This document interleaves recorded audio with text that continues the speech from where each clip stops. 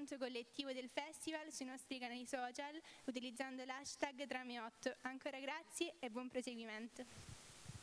Grazie, grazie per questo primo incontro della seconda giornata di Trame.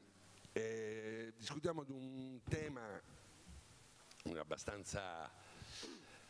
Eh, perché chi sono questi due signori che sono con me? Sono Marco Romano, direttore del giornale Sicilia, Lino Margante, direttore, posso dire giusto? Direttore, io pensavo che direttore della Gazzetta del Sud. Questi due giornali, uno di Messina e uno di Palermo, sono, servono un pubblico teorico perché la Gazzetta del Sud si rivolge anche alla Calabria, il giornale Sicilia si rivolge a tutta la Sicilia occidentale. Questi due giornali, queste testate, una storica, una anch'essa storica, anche se più recente, hanno fatto una fusione, hanno, dire, sono diventate un'unica società e sono diventate la più grossa società editoriale, perché c'è anche insieme al giornale, hanno, ci sono due televisioni, ci sono radio, eh, e poi naturalmente siti, altri canali, canali multimediali, il più grosso gruppo editoriale a sud di Napoli, forse a sud di Roma, considerando che eh, Napoli, il giornale che c'è Napoli del mattino è del gruppo Calcialgirone e, e quindi è un gruppo romano centrico, chiamiamolo così dal punto di vista economico-finanziario.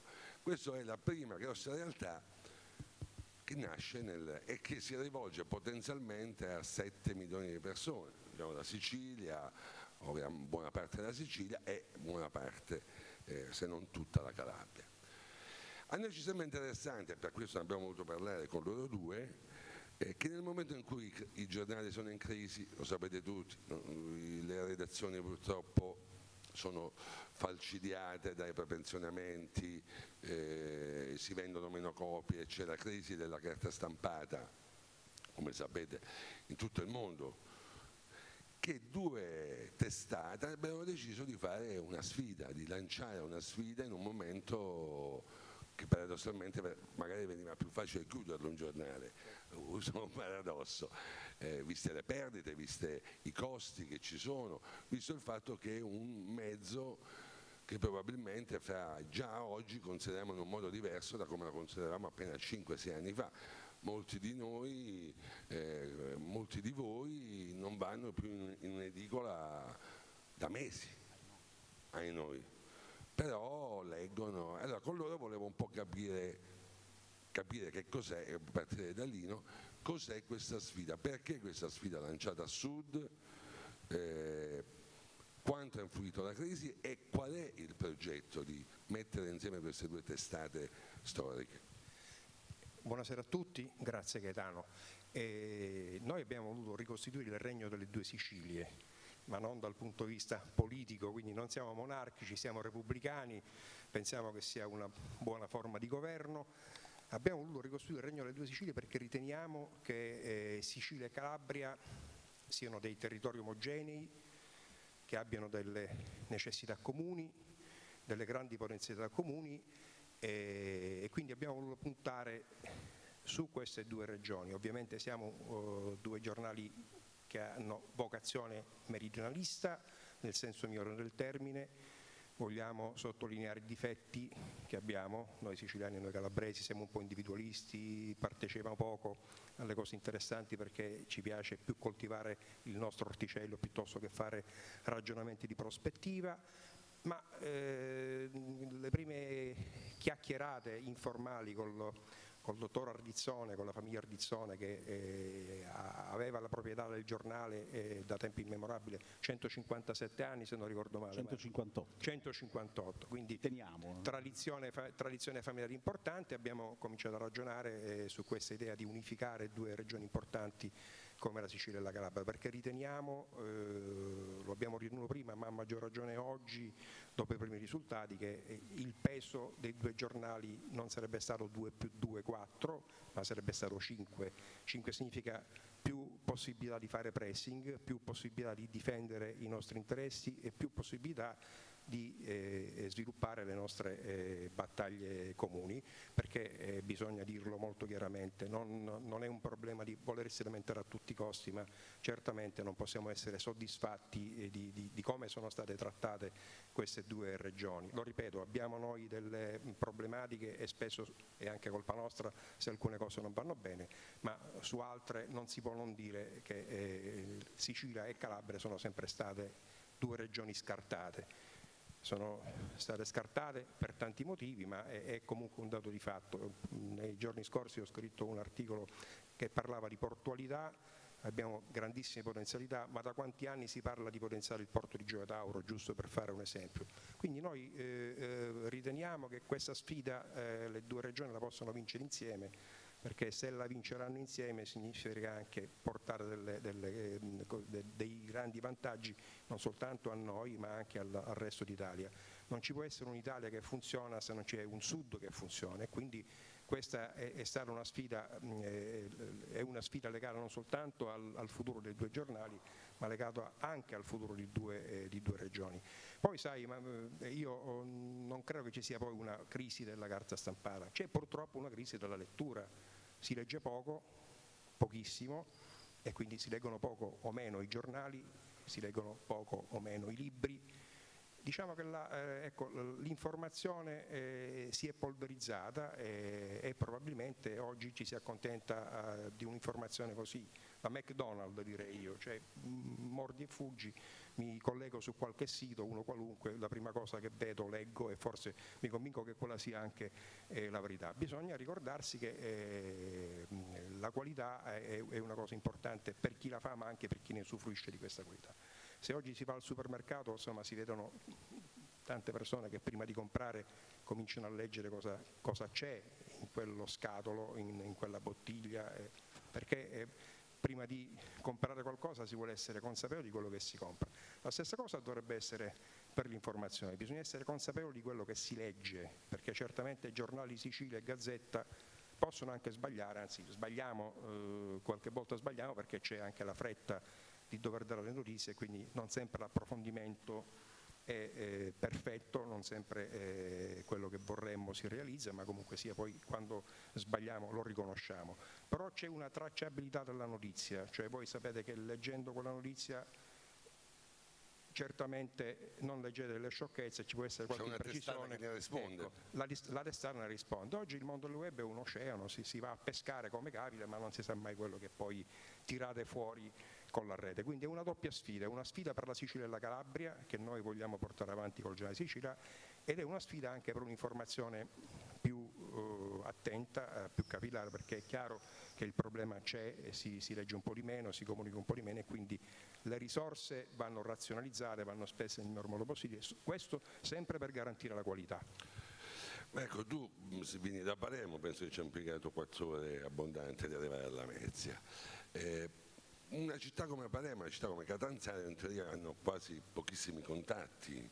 E come si mettono insieme due giornali che siano molto radicati sui propri territori, come il giornale Sicilia che si rivolge a Palermo, alla Sicilia occidentale in particolare, con una regione che è vicina ma in realtà anche per i mezzi di trasporto è distantissima e quindi un cosentino impiega meno tempo andare a Milano che arrivare a Palermo sicuramente. Potrei dirti anche che per eh, andare a Tunisi o scegli la nave oppure devi prima salire a Roma e poi scendere giù per andare a Tunisi, nonostante Tunisi sia più vicina a Palermo molto di più di quanto lo è Roma. Credo che la eh, logistica e anche la capacità di potersi spostare eh, nel, nel, meridione sia uno dei problemi atavici del territorio, eh, però eh, paradossalmente questo può essere un vantaggio per la mh, capacità di poter fare informazione, eh, dire, scavalcando e azzerando le distanze. Eh, è importante precisare una cosa, si è parlato della eh, fusione, ha detto fusione appunto di questi due giornali, è importante dire che sono due giornali che continueranno a camminare paralleli, non sono due giornali che si fondono, sono due giornali che restano, esatto, sono due giornali che continuano a viaggiare ognuno attraverso eh, il proprio mercato, il nostro come hai precisato tu appunto è pre, pre, prevalentemente siciliano, quello della Gazzetta è prevalentemente messinese e, e calabrese. Credo che il ruolo dei giornali sia fondamentale proprio perché sono capaci in qualche modo di eh, riuscire ad andare oltre il, il, tutto e subito di cui si parlava prima, il famoso fast food di cui parlava anche, di cui parlava anche Lino, la capacità di poter eh, radicare attenzione e affidabilità nei territori. E non a caso in questo mare magnum della crisi congiunturale che, che dura ormai da parecchi anni della carta stampata in termini di vendita, in termini di eh, dire, feeling pubblicitario, non a caso chi soffre di più eh, di questa crisi sono i giornali nazionali eh, intendiamoci, i giornali locali ne, ne, ne, risentono parecchio anche, però in proporzione eh, la sfida con il mondo digitale è una sfida per noi meno titanica rispetto a quella dei giornali nazionali, eh, perché proprio il radicamento nei territori, la capacità di poter raccontare un territorio dal di dentro, eh, con, eh, un, con un know-how, con una capacità, con una presenza, una capillare eh, attenzione e conoscenza dei territori che la rete, giovane per, per, per antonomasia, non soltanto soltanto perché è fatta prevalentemente dai giovani, non ha. Ed è quello su cui noi facciamo affidamento, cioè il fatto che Giornale Sicilia e Gazzetta del Sud si mettano insieme, lo fanno non per dire, accomunare il proprio pubblico, ma per servirlo in maniera ancora più diffusa, secondo economie di scala che ovviamente nel mondo... Immagino che ci saranno, che so, posso immaginare le pagine nazionali in comune ci saranno, saranno fatte delle sinergie, saranno fatte delle sinergie che ovviamente viaggiano su tutti i livelli aziendali, naturalmente non soltanto su quelli giornalistici, ma su quello Lino naturalmente è molto più preparato di me. Ci saranno anche dei contenuti che possono essere eh, eh, sovrapponibili, eh, ma sono contenuti che in qualche modo um, poco hanno a che vedere con la specificità territoriale dei giornali. Tu citavi appunto, eh, cito gli esteri, cito le, le, cronache nazionali, cito l'economia nazionale, eh, per poter dedicare maggiore attenzione appunto ai territori ed è quello quello che in qualche modo vogliamo fare in territori particolari come la Calabria e la Sicilia che sono eh, territori importanti e interessanti da raccontare, sono credo anche una grande scuola di giornalismo e qui puoi dirlo tu prima ancora di me e, e che ovviamente hanno bisogno di un'attenzione, di una preparazione, di un'esperienza che giornali come il nostro e come la Gazzetta eh, abbiamo la presunzione di poter dire di avere. Io poco fa tu parlavi di una cosa che a me interessa molto, un, a questo punto un soggetto editoriale così, un, eh, dire, un gruppo editoriale così è anche un soggetto politico editoriale. E tu poco fa accennavi, questo soggetto politico editoriale eh, dire, può avere, fare in un momento in cui c'è una politica un governo che, che so, ci sono i 5 Stelle sono state elette al sud ma dove l'attenzione per il sud al momento sembra non ancora dichiarata, mettiamo così, eh, in questi termini. Eh, c'è un leader della Lega eletto a Reggio Calabria, il ministro degli interni Salvini. Questo gruppo editoriale può avere una voce, può far sentire la sua voce per un sud per un dove la questione meridionale è completamente cancellata, cioè la questione meridionale diamogli un reddito di cittadinanza e non si lamentino, di fatto è questo, mi sembra, dico così, a vederla ad occhio. In effetti sì, si sta tornando un po' alle logiche della cassa per il mezzogiorno. Dice, buttiamo un po' di soldi e li facciamo stare tranquilli. La cassetta in questo caso per il mezzogiorno. Dice, mettiamo un po' di soldi e li facciamo stare tranquilli. Noi non vogliamo stare tranquilli, noi vogliamo quello che ci compete, quello che tutti hanno in buona parte d'Italia e noi non abbiamo. Non abbiamo le ferrovie, per arrivare da Messina a Palermo spesso e volentieri prendo il pullman perché le ferrovie sono a binario unico, non funzionano, non, sono, non ci sono treni frequenti, eh, gli aeroporti di, di, di, importanti ce ne sono due ma non sono collegati con la rete autostradale, con la rete ferroviaria, altro paradosso, quindi noi eh, ci vogliamo intestare questa battaglia a favore della Sicilia e della Calabria, ma francamente non ci interessa il reddito di cittadinanza perché poi alla fine sono, cose, eh, sono politiche molto di corto raggio, a noi interessa una, che si faccia un investimento sul futuro di queste due grandi, eh, grandi regioni, quindi noi vogliamo esercitare passami il termine, il peso politico che abbiamo, un po' di più di quello che avevamo prima, per eh, fare in modo che questo governo si ricordi che da questo lato, dopo Napoli, ci sono due regioni che hanno 7 milioni di abitanti che vanno a votare e che tra qualche anno chiederanno conto di quello che sarà fatto.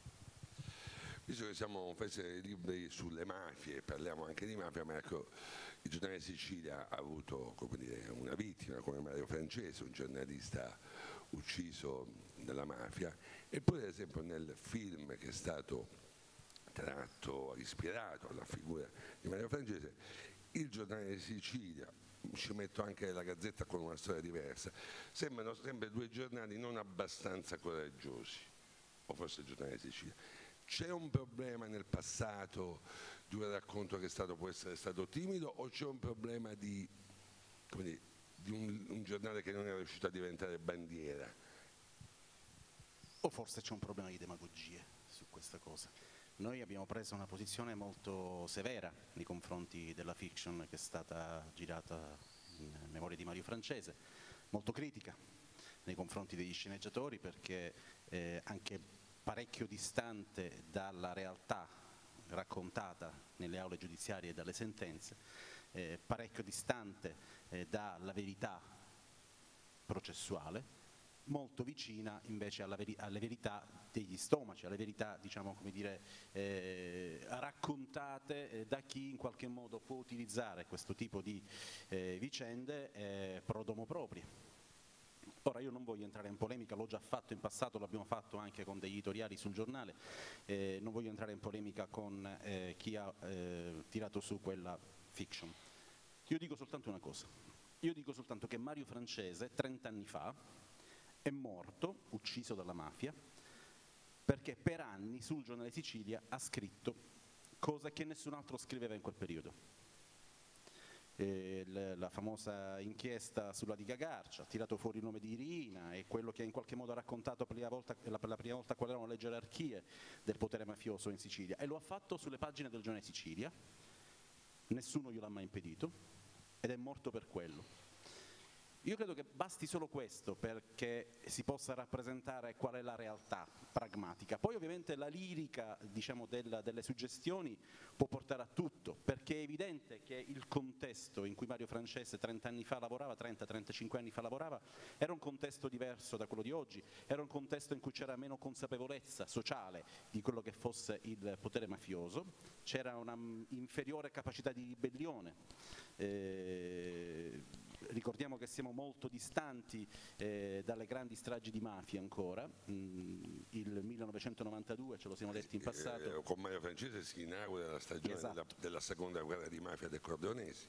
Esatto, dopo le stragi comincia nel sentire comune una presa d'atto di coscienza che la mafia è un cancro, una metastasi che va combattuta. Quello erano anni in cui c'era una sorta di tacita e pacifica convivenza non perché ci fosse collusione, ma perché non c'era consapevolezza. Allora probabilmente in questo contesto si innesta il meccanismo di chi ritiene che all'interno di un giornale ci possa essere come dire, poca vicinanza e poco sostegno a un giornalista. Però io credo che la cosa più importante per un cronista sia poter, avere la libertà di poter raccontare le cose che sa e le cose che scopre. Mario Francese lo ha fatto, lo ha fatto sul giornale Sicilia ed è stato ucciso perché lo ha fatto sul giornale Sicilia. Credo che tutto il resto sia, non lo so cos'è, ma certamente non è la verità che Fiction. viene fuori da queste cose. Appunto. Fiction. Eh, Lino, vorrei anche avere un applauso per Mario Francese, giornalista coraggioso. Eh, Lino, io ho lavorato al giornale Sicilia, ho iniziato al giornale Sicilia e ho iniziato in anni in cui la Sicilia era al centro dell'attenzione. Oggi vedo che anche un po' dire, la comunicazione giornale, da, dalla Sicilia è cambiata, in questo momento Palermo è capitale della cultura, è diventata anche una comunicazione patinata, si parla anche di Palermo come città della movida, degli eventi culturali, a torta ragione quello magari lasciamo perdere. Eh, dalla Sicilia sono venute per tanti anni delle notizie terribili, adesso viene anche dire, il cibo, i luoghi del mare, il turismo, eh, i vini, eh, i gattopardi gli ultimi, i penultimi, insomma tutta una retorica un po' patinata sulla Sicilia glamour, quella che io chiamo la Sicilia glamour. Sulla Calabria questa operazione non riesce ancora a scattare. C'è a questo punto un problema Pignatone diceva la, la Calabria rischia di essere informativamente un buco nero con eh, eh, riesce a raccontare solo Anzangheta, non riesce a raccontare niente. Noi facciamo questo festival, voi siete anche partner e vi ringraziamo. E l'altro giorno in un pezzo sulla Repubblica eh, sul sito della Repubblica c'erano i 120 festival più importanti d'Italia, noi siamo contenti di esserci come trame, ma era l'unico della Calabria e non posso credere che in Calabria esista solo trame perché non esiste solo trame, esistono anche tantissime altre realtà. Qual è il problema di riuscire a comunicare e quindi a essere attrattivi anche una Calabria che sia anche un po' glamour come nel frattempo è diventata la Sicilia? Volevo prima di rispondere a questa domanda fare un passo indietro e ricollegarmi a quello che ha detto Marco a proposito di antimafia. La prima antimafia e le prime battaglie antimafia, antindrangheta le abbiamo in Sicilia e in Calabria, perché al nord arrivavano notizie, ogni tanto c'era qualche... Eh, succedeva qualcosa, ma noi eravamo in prima linea. Gazzetta del Sud quando ha riferito e ha scritto nel primo maxi processo ha subito tre colpi di pistola e una bomba che ha fatto saltare il bar del giornale. E meno male che il bar del giornale salta in aria a luna di notte perché se fosse saltato in aria due ore prima avremmo avuto un paio di morti. Quindi le, le, battaglie le abbiamo cominciate prima in Sicilia e in Calabria, poi se ne sono resi conto anche fuori che c'era un problema di indrangheta e di mafia, perché come avete detto bene è un problema di percezione come ha detto ha sottolineato Marco, la percezione l'abbiamo avuta prima noi che la mafia e l'andrangheta sono un cancro, poi se ne sono resi conto anche fuori, però la, la, la prima linea l'abbiamo fatta noi, loro hanno avuto un morto, abbiamo avuto tre colpi di pistola, bombe e, e altre storie, quindi è successo quello che è successo, lo sappiamo tutti. Eh, io credo che oggi la eh, Calabria rispetto alla Sicilia sia qualche anno indietro, perché le, le stragi di Falcone e Borsellino hanno svegliato la Sicilia come da un brutto sogno, cioè, beh, eh, ci siamo resi conto che bisogna fare di più, che non si poteva soltanto subire e quindi il processo eh, di eh, percezione è, è, andato avanti molto rapidamente. La consapevolezza si è diffusa rapidamente perché la morte di eh, Falcone e Borsellino hanno veramente ehm, eh, hanno veramente colpito la Sicilia intera, anche i più distratti, devo dire. quindi là è cominciata subito un'opera eh, eh culturale dentro le scuole, eh, nel, nella società, tra gli stessi giornalisti, è, è, stato per noi un trauma e ci siamo, ci siamo svegliati improvvisamente e abbiamo detto ma che cosa sta succedendo? Dobbiamo muoverci prima che sia troppo tardi. Credo che da questo punto di vista proprio della percezione di quanto sia invasiva la mafia, di quanto possa essere deleteria altrettanto dell'andrangheta, in Calabria ci sia di meno, si deve lavorare un po' di più perché io vedo qua tanti ragazzi, dobbiamo ricordare che il Consiglio è stato sciolto per la terza volta qui alla Mezia, certo. abbiamo un commissario, io confido molto nei ragazzi, nei giovani perché è, è la consapevolezza che può aiutare e la consapevolezza poi fa buona stampa, fa buona percezione. Bisogna migliorare la percezione che sia fuori sia dalla Sicilia sia dalla Calabria. Noi ci siamo riusciti meglio che, eh, di quanto sia avvenuto in Calabria, ma perché abbiamo cominciato prima. E ovviamente eh, ci, vuole ci, vuole tempo, bisogna, eh, bisogna, fare tante cose come quello che fai tu da un po' di anni a questa parte, come quello che fate voi. Bisogna lavorare molto sulla percezione e far capire fuori che i problemi ci sono, ma la gente ha la consapevolezza di questi problemi, del, del ruolo invasivo dell'andrangheta e, e, si impegna tutti i giorni per fare in modo che le cose possano andare meglio. Del resto cosa succede? Eh, quando ci sono operazioni eh, in giro per l'Italia c'è sempre qualche andranghetista o qualche famiglia di indrangheta che a Milano, Torino, Roma è un, è un, problema, è un problema di percezione della Calabria. La Calabria non, una, non gode di una buona stampa, non è, non è percepita nel modo giusto o quantomeno paga più di quanto dovrebbe questo piccolo ritardo, piccolo grande ritardo rispetto alla, alla, alla Sicilia. Ma, Però io sono ottimista. Dico, ma ecco, un giornale come, come il tuo, eh, oltre naturalmente a raccontare quello che succede, c'è la possibilità secondo te di fare delle iniziative che in qualche modo facciano vedere anche dire, il fatto positivo, ma soprattutto riescono a superare la soglia di Lago Negro, raccontato da Lago Negro in su. Tu ricorderai Canano che quando mi hai proposto oh, questa partnership io ti dissi subito immediatamente, perché noi creiamo molto a queste cose, noi preferiamo le buone notizie alle cattive notizie, se volessi fare un ragionamento oh, proprio da opportunista direi le notizie brutte ci fanno vendere molto ed è la verità, quando ci sono notizie omicidi, operazioni in dranga, noi aumentiamo la, la vendita del 40%. Ed è una cosa che, vi dico sinceramente, non mi fa piacere. Io vorrei vendere il 40% in più di Gazzetta quando oh, ci sono iniziative come queste e quando si parla di buone cose.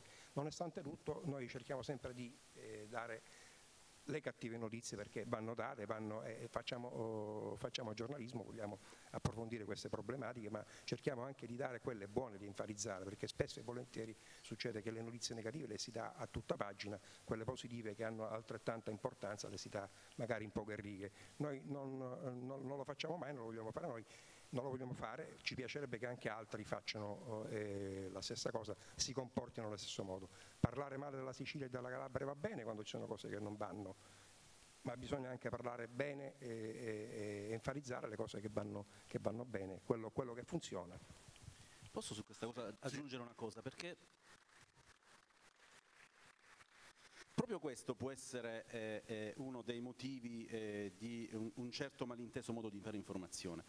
Eh, quello che diceva Lina è vero, c'è la eh, voglia da parte dei giornali di poter raccontare anche la faccia positiva dei propri territori, spesso da chi su questa cosa vuole giocare, scambia, viene scambiata come la voglia, la necessità di non voler raccontare ciò che invece di brutto c'è sui territori e quindi si torna al discorso che facevi prima di Mario Francese, della possibilità che ci fosse una certa trascuratezza o una certa inedio e indolenza da parte dei giornali nel raccontare quello che succedeva nei territori.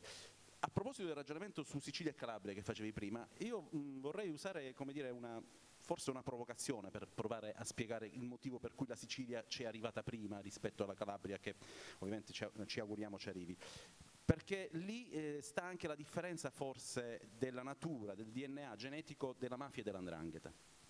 La mafia eh, ha, dire, ha, raggiunto un livello di sfida allo Stato tale, con la stagione delle stragi, che ha inevitabilmente toccato lo zenit e quindi ha inevitabilmente scosso le coscienze in maniera così plateale, in maniera così determinata, in maniera così eh, evidente, che ha, ha quasi da sola firmata la sua condanna a morte, che è ancora un'agonia, non è morte, è ancora un'agonia, ma è un'agonia. L'andrangheta da questo punto di vista credo che abbia una capacità di eh, insediamento molto più eh, come dire, eh, molto eh, meno evidente, molto meno plateale, ma, non per, certo. ecco, mo, ma, ma non, per, questo meno, meno, grave, meno perniciosa. E questo in qualche modo eh, contribuisce a mantenerne ancora una certa solidità, una certa stabilità nei territori. La mafia fa le stragi, e comincia a perdere. L'andrangheta fa le collusioni e quindi continua a essere in qualche modo presente, e, e oppressiva e ossessiva nei territori. Poi forse c'è anche un altro aspetto, so, penso, penso, che condividerete. L'organizzazione mafiosa era verticistica e quindi il, il, il pentilismo e gli infiltrati hanno portato certo, dei buoni risultati. Decapitata. Decapi, esattamente. L'andrangheta è, è basata sulla eh, familiarità, cioè familistica e quindi infiltrarsi in, in ambienti che sono legati da vincoli di sangue è ovviamente più difficile. Però si può riuscire se la società civile si impegna tutti i giorni in continuazione per debellare il fenomeno. Ora vi faccio una domanda a tutti e due, state attenti come rispondete. Tra questi ragazzi ci sono molti che lavorano nel nostro ufficio stampa, molti che forse sognano di fare giornalisti. E sapete, il mestiere ha ancora un suo fascio, le, le facoltà di scienza e comunicazione sono piene di studenti, le scuole di giornalismo. Voi siete due direttori, siete quelli in cui uno di questi ragazzi un giorno, o due, o tre, o dieci, si presenteranno e diranno posso provare a farlo, non dico assumetemi, posso provare a scrivere, posso provare a fare un servizio in una vostra televisione, in una radio, un, un articolo. E siccome lo vengono a chiedere a me, e a me non mi va di dire lascia perdere, cambia strada, voi cosa gli rispondete? Io... Quale possibilità? È un mestiere che uno dice non lo fare, fare il fruttivendolo, fare l'idraulico perché camperai per i prossimi anni a 500 euro al mese se ti va bene o bisogna crederci perché c'è qualche possibilità ancora di poterlo fare, magari in modo diverso da prima, di, ma di poterlo fare? Beh, ehm, oggi eh, è un po' più complicato ma devo anche, dirti, devo anche dirvi che eh, se oggi dovessimo pensare io e Marco di fare un'assunzione, di assumere un giornalista, non avremmo tanta facilità nel trovarne uno bravo al 100%, perché la, la professione è cambiata parecchio eh, e l'idea che eh, del giornalismo è profondamente diversa.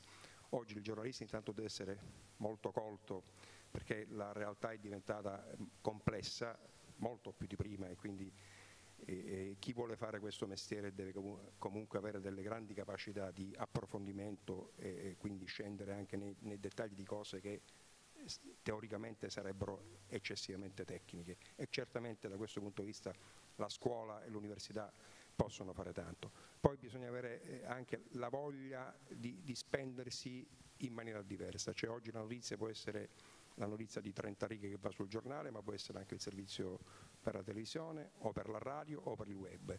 La, è, è, è, molto, è, molto, cambiata la professione, quindi bisogna essere consapevoli che è molto cambiata e quindi eh, avere più strumenti per poterlo fare. Oggi ci sono dei bravi giornalisti della carta stampata, dei bravi giornalisti della televisione, della radio, del web, ma è davvero difficile in questo momento trovare un giornalista che sappia fare bene tutte queste cose, cioè la capacità di passare da 60 righe a 15 righe per un servizio tv o per un servizio da mandare in, eh, in radio. Quindi io non sono eh, pessimista rispetto alla professione. È molto più difficile di prima perché richiede più competenze e anche, devo dire, eh, più, più, pazienza. Una volta era, eh, ripeto, si era un po' più specializzati, si faceva carta stampata o oggi non è, non è più così e, e, forse bisognerebbe avere anche la qualità eh, che oggi è venuta un po' meno della curiosità perché oggi si fa troppo lavoro di desk, si, si sta troppo seduti davanti a una scrivania e quindi bisognerebbe tornare per certi versi eh, eh, all'antico, come si faceva una volta, cioè camminare, guardare, osservare.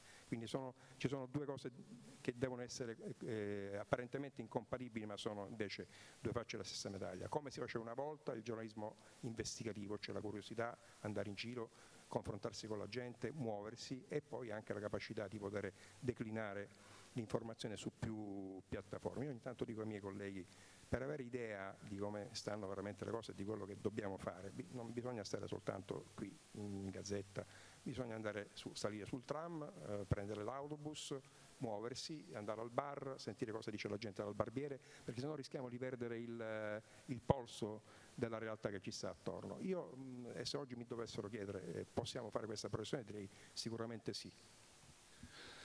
Speriamo. Eh, naturalmente questa volta facciamo anche le domande, se ci sono, fatemi un segnale. Sì, ma tu da quanto tempo che non assumi una persona? Tu sei direttore del giornale di Sicilia, dai? Da un anno e tre mesi. Hai assunto qualcuno? No, non ancora, ma non ho ancora licenziato nessuno. Qualcuno per, per... E di questi ah, tempi ti assicuro che non è, no, non, è, non è poco. Già è qualcosa. Non è poco davvero, in questo momento non è poco. Non è poco. Già è qualcosa. No, intanto bisogna avere il sacro fuoco dentro, ma questo credo in tutte le professioni in generale, nel giornalismo in particolare. Però io voglio ribaltare il concetto eh, di Dino Morgante, perché è vero che probabilmente oggi non c'è una grande preparazione specifica da parte di chi si approccia a questa professione in maniera forse un po' troppo laica, eh, con una, eh, un, un approccio emotivo molto più ovattato rispetto a un tempo. Però probabilmente è vero anche il contrario, è vero anche che siamo noi a insegnare meno giornalismo ai ragazzi. Eh, e questa è un'autoaccusa quello che faccio naturalmente, perché la necessità di un giornale tradizionale nelle sue molteplici sfaccettature, che comprendono anche la radio, la televisione e il sito, come i nostri in particolare, ha purtroppo la necessità eh, di dover in qualche modo eh, accelerare rispetto alle esigenze del proprio lettore. Questo non ti consente di poter avere un, una squadra di giornalisti a cui puoi eh, dire, concedere il lusso di potersi spendere un attimo di più per poterti portare il prodotto. Eh, io capisco che un discorso può, può sembrare un, un, discorso molto, eh, come dire, profano, molto, molto pragmatico, eh, però purtroppo la capacità di un giornalista oggi deve essere commisurata anche alla velocità del giornalista. Un tempo non era così.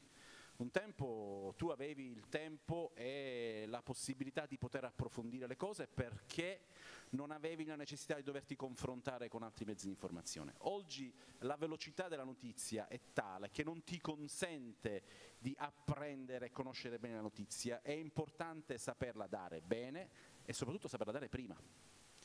Prima non era così. Quindi questo in qualche modo aiuta ad essere smart nella produzione del, della notizia e quindi ti aiuta ad essere smart anche nel diventare giornalista. Forse il giornalismo di inchiesta, come lo intendevamo noi, come lo faceva Savattelli un tempo, eh, come si faceva nei giornali negli anni 70 e 80, oggi va rivisto e va ridisegnato. Questo non significa saper fare oggi il giornalista in maniera inferiore rispetto al passato, è un modo diverso di fare il giornalista. Del resto tu devi stare in qualche modo al passo coi tempi. Forse proprio il mondo editoriale è quello che in assoluto deve cavalcare i tempi che vive e non in qualche modo vivere di nostalgie, perché altrimenti già sta soccombendo, probabilmente anticiperebbe la, fine del, la, la propria fine, la fine del proprio destino. Il mio primo servizio d'inchiesta fu il mio capocronista che mi mandò a Mondello per sapere se la gente mangiava il panino con le panelle o il panino con la milza. Eh? Non, fu una grande inchiesta, non fu una grande inchiesta. Tu l'hai provati naturalmente. Io ho provato e ho fatto anche ho intervistato mezzo Mondello vestito da capo a piedi con Tony Gentile fotografo, quindi ancora ce lo ricordiamo. C'è la panella, ma molti portavano da casa, le signore portavano da casa la frittata del panino, abbiamo scoperto che andava all'asporto. E, ehm, per finire su questo tema, però c'è il rischio che ormai i giornalisti sono mal pagati, anzi non sono pagati perché quando tu li paghi 5 euro, 4 euro un pezzo, una notizia, questo vuol dire che un giornalista non si può costruire, un giovane giornalista non può costruire un futuro sull'ipotesi di un precariato a 600 euro, che non è solo del giornalismo eh, questo problema. Però nell'informazione, avendo tutta questa massa di gente che bene o male sa scrivere, laureata e diplomata, sono diventati quasi come i come dire, raccoglitori di pomodori qua nella piana, i giornalisti, ce n'è sempre uno che ti può fare un video. Forse c'è un problema, ma non voglio fare un discorso sindacale, c'è un problema che la crisi eccetera, ha di fatto deprezzato questo mestiere e lo ha fatto diventare di scarsa qualità. Eh, la crisi, la vocazione, ma direi anche la esasperata digitalizzazione di questo mestiere. Noi oggi ci confrontiamo, noi giornali strutturati, tradizionali, ci confrontiamo con un mondo che non ha regole. Eh, il nostro concorrente è un mostro a dieci teste eh, che si chiama internet, che si chiamano blog, che si chiamano piccoli siti di informazione in cui eh, quelli che tu giustamente citi come sottopagati nei giornali sono quasi schiavizzati e lì non ci sono regole, non, se io faccio scrivere su un giornale eh, un giovane cronista, un giovane apprendista e io non lo pago, io sono passibile di, di provvedimenti anche di natura penale. Su internet no, su internet succede che tutti fanno tutto quello che vogliono, non ci sono regole, non, ci sono, non, esiste il direttore responsabile della testata, non esistono responsabilità penali, non esistono contratti. Allora tu inevitabilmente è con questo mondo che ti confronti e le proporzioni di tutto ciò che sei in grado di concedere sono eh, inevitabilmente condizionate da quel mondo. Poi è chiaro che io vorrei avere eh, eh, al giornale cronisti bravissimi, sarei disposto a pagarli cifre eh, ingenti, però poi devo fare i conti col mercato e il mio mercato è purtroppo un mercato drogato e le conseguenze le pagano le aziende, gli editori, i direttori e ahimè anche i giornalisti, anche coloro che cominciano con questa professione. Ci sono domande, interrogativi, io naturalmente lo dico, domanda.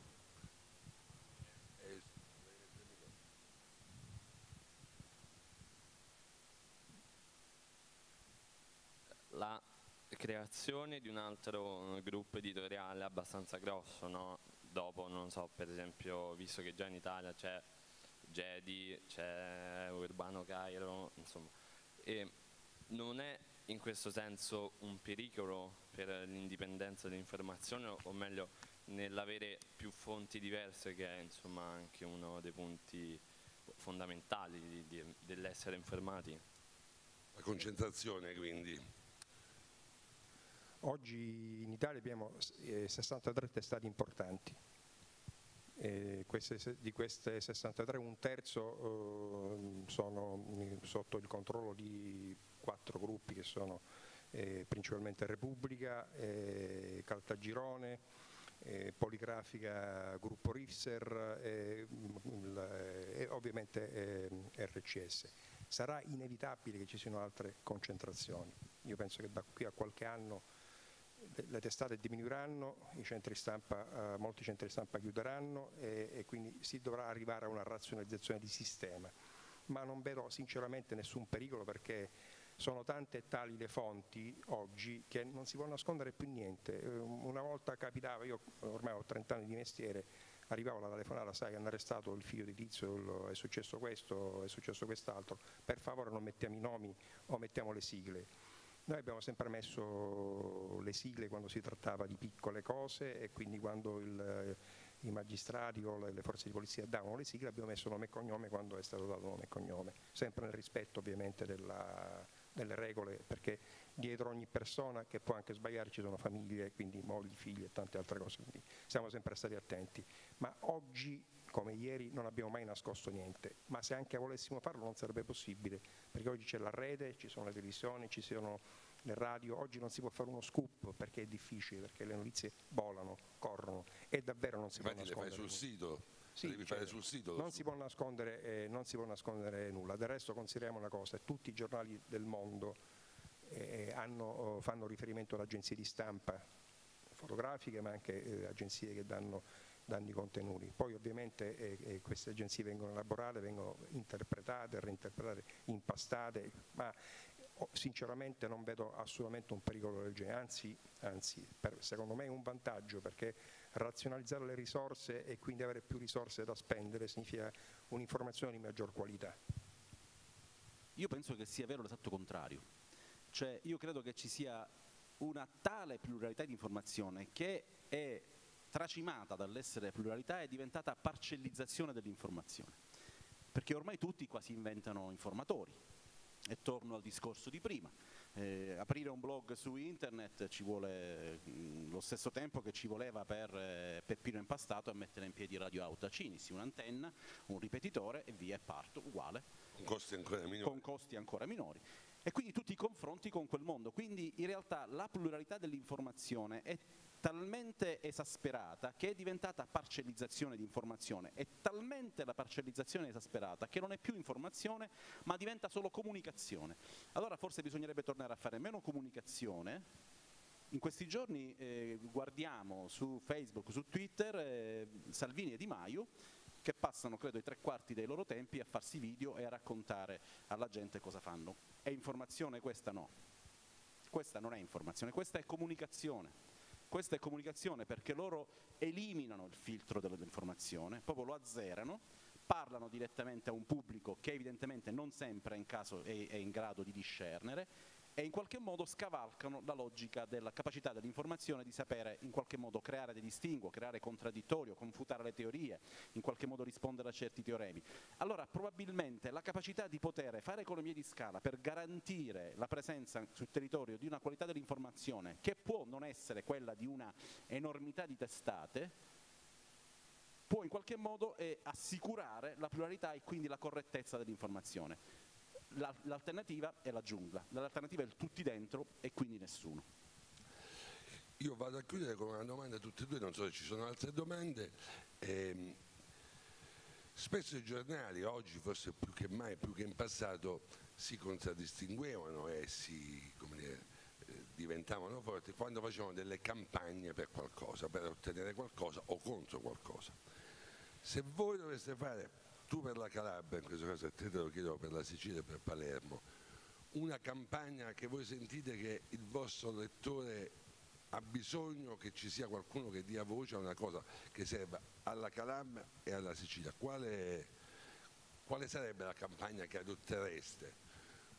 A parte la campagna, ovviamente una campagna sulla legalità che dico è una cosa che si ha nel DNA e la, una cosa e la si fa tutti i giorni, una cosa concreta è le infrastrutture, infrastrutture assolutamente sì. Siamo marginalizzati, siamo oh, scartati e siamo isolati eh, dai grandi flussi non soltanto turistici ma soprattutto commerciali. E tu Marco? Va, eh, io credo che il, la Sicilia si caratterizzi per una eh, eccessiva eh, predisposizione a un concetto antico del lavoro. Eh, cito un dato su tutti, la regione Sicilia ha da sola, la regione Sicilia ha 20 regioni d'Italia, la regione di Sicilia ha da sola un quarto dei dipendenti di tutte le regioni italiane, 13.000 dipendenti più una vasta marea di precari e controprecari eccetera eccetera.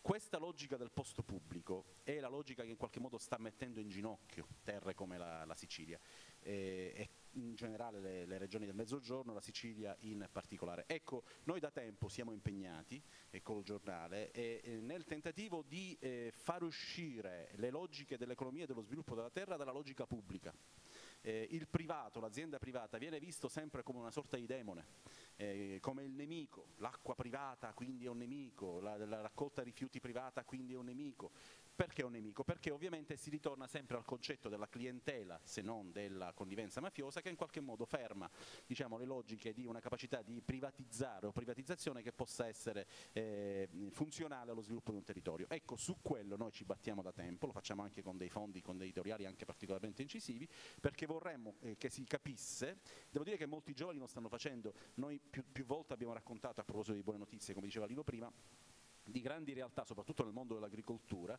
in Sicilia, di giovani che hanno deciso di impegnarsi, di investire in quel settore, senza dover aspirare al famoso posto pubblico di Checco Zalone, di, di Quovado, dell'ultimo film, per cui lo mandano in giro per il mondo pur di non, pur di non, pur di non dimettersi. Allora, quando si capirà che, la capacità di investire da parte del privato del giovane su se stesso e la capacità del pubblico di eh, aprire le porte al privato, all'investitore privato, alla risorsa privata, privata, allora probabilmente lo sviluppo di questo territorio e della Sicilia in particolare ne trarrà beneficio e noi su quello ci battiamo da tempo e continueremo a batterci.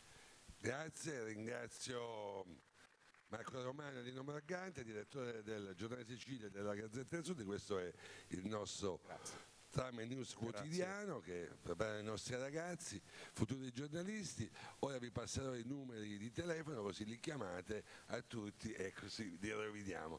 Grazie, grazie a voi. Grazie a te, grazie a voi. Dammi la mano e torna vicino, può nascere